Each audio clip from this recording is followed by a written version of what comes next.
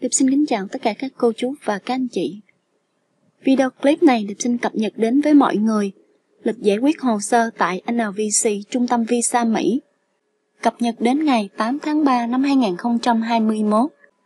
Qua lịch cập nhật này, Trung tâm Visa Mỹ sẽ xét các hồ sơ bảo lãnh định cư Mỹ như là cấp case number và invoice ID number, xét các hồ sơ làm 6 bước với NVC và trả lời thư Ask mà cô chú và các anh chị gửi để hỏi các thắc mắc về hồ sơ của mình. Xin mời mọi người cùng theo dõi chi tiết. Cô chú và các anh chị xem video clip nhớ bấm like, thích, subscribe, đăng ký để ủng hộ kênh của Điệp nhé. Cảm ơn tất cả mọi người.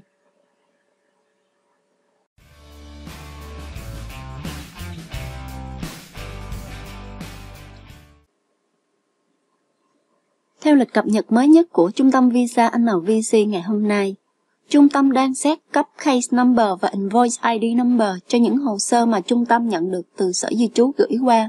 Các hồ sơ này đã được Sở Di trú xét chấp thuận. Đến ngày 25 tháng 2 năm 2021, tăng 7 ngày so với tuần trước. Thời gian thông thường mà trung tâm visa nhận được hồ sơ từ Sở Di trú gửi qua là từ 30 cho đến 45 ngày. Và theo lịch cập nhật mới nhất của Trung tâm Visa NVC, trung tâm đang xét các hồ sơ nộp đủ giấy tờ làm 6 bước với NVC.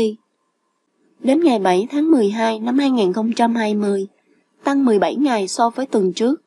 Tuần này NVC xét hồ sơ rất nhanh.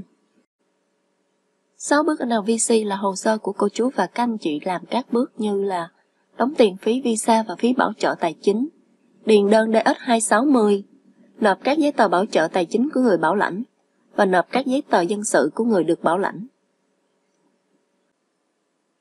Và theo lịch cập nhật của Trung tâm Visa NVC, Trung tâm đang trả lời đơn asnvc mà cô chú và các anh chị gửi để hỏi các thắc mắc về hồ sơ của mình. Đến ngày 25 tháng 2 năm 2021, tăng 7 ngày so với tuần trước. Là bình quân khi cô chú và các anh chị gửi asnvc thì cô chú chờ khoảng 2 tuần thì NVC sẽ phản hồi lại. Và đây là mẫu đơn Asana VC. Thông qua mẫu đơn này thì cô chú và các anh chị có thể gửi cho trung tâm visa để xin case number và invoice ID number nếu như hồ sơ của chúng ta chưa có thông tin này.